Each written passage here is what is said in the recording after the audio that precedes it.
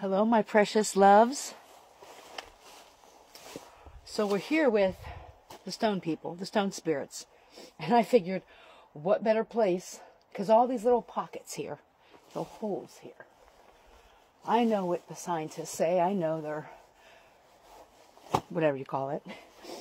But each one has another pocket of knowledge for us from our ancestors. So what other oracle to use but the bone and earth oracle? Thank you, Mother Earth. Thank you, Mother God. Thank you, Source. Thank you, Spirit.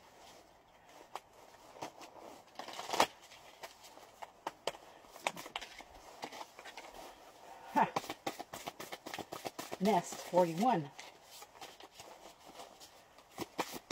Clarify, generosity, gratitude.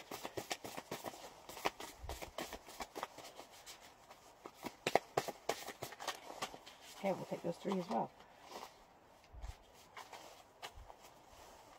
Hold those for me? Thank you. All right. So this is the nest. Charity, generosity, gratitude. Cage, freedom, release, reclaiming your power. was just talking about it. When I was in the last cave, I was talking about releasing.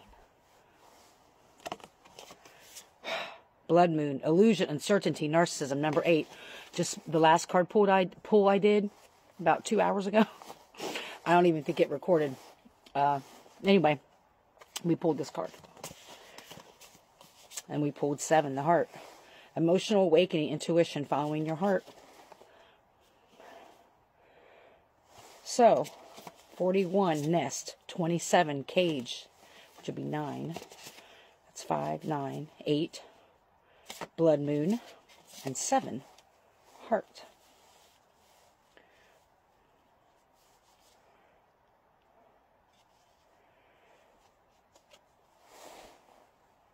The stone spirits are saying that your heart has been in a cage. You've been nestled away, nestling away your heart. You've been wanting to reach out. You've been wanting to connect more. You've been hurt a lot.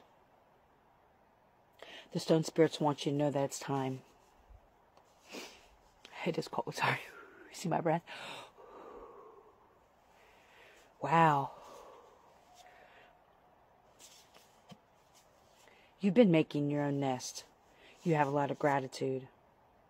There's so much freedom in releasing and letting go. I know this is an old message.